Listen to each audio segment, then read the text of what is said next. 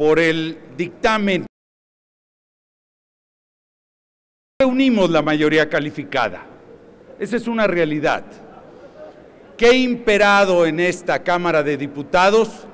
El acuerdo, el consenso, el no sentirnos cada uno de nosotros dueños de la verdad. Tenemos una realidad al día de hoy. Tenemos un problema de seguridad en el país. Eso es indiscutible.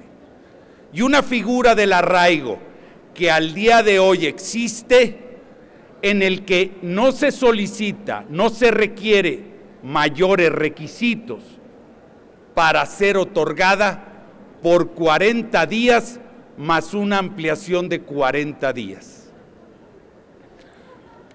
Lo que el día de hoy se somete a consideración no es una disminución de plazo, eso es lo de menos. Lo importante es el establecimiento de requisitos muy claros para que la autoridad judicial otorgue el arraigo. El precisar de manera clara que es necesaria acreditar la existencia de indicios suficientes que lo vinculen con los delitos. ¿Qué delitos? Estamos en presencia de delitos menores.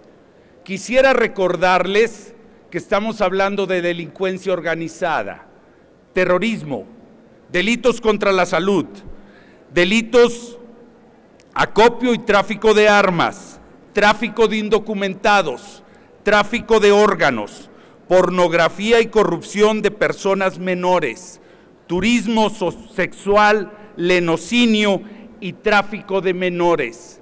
Esos son los delitos de delincuencia organizada de los que estamos hablando. O en su caso, los todavía delitos graves como homicidio doloso, violación, secuestro, trata de personas. En estos casos, el juez otorgará el arraigo si se cumple con el requisito de indicios, no solo la solicitud del Ministerio Público.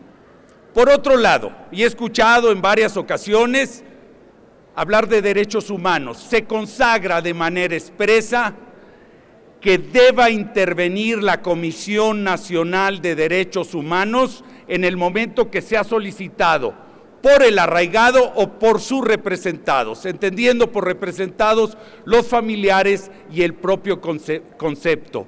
No queda solo de forma potestativa, hay la obligación de la intervención de los derechos humanos.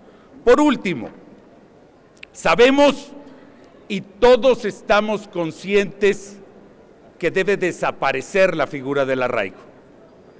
Por lo mismo, en, esta, en este tránsito hacia la desaparición del arraigo, se prevé una nueva figura, una nueva figura en la que el Ministerio Público podrá retener con autorización del juez 72 horas más en los casos de delincuencia organizada o de delitos graves, solo en esos, que amplía el plazo de las 48 horas tratándose de delitos graves o de 96 horas tratándose de delincuencia organizada. Pero aún más, en ese diálogo y en ese consenso entre los grupos parlamentarios se presenta una adición fundamental. Si se utiliza la figura de ampliación de retención, en la que viene siendo una manera de ir induciendo lo que en su momento van a entrar como jueces de control, ya no puede solicitarse el arraigo. Es decir, el juez lo primero que va a preguntar antes de otorgar un arraigo es si no existe la posibilidad de que con la ampliación de la retención de 72 horas tenga el tiempo necesario antes de la consignación.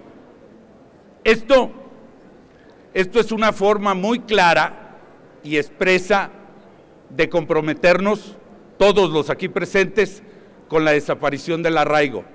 Si no hacemos nada, compañeros y compañeras diputadas, al día de hoy, probablemente en este momento, se esté arraigando una persona sin mayores requisitos y por 40 días, con una ampliación de 40 más.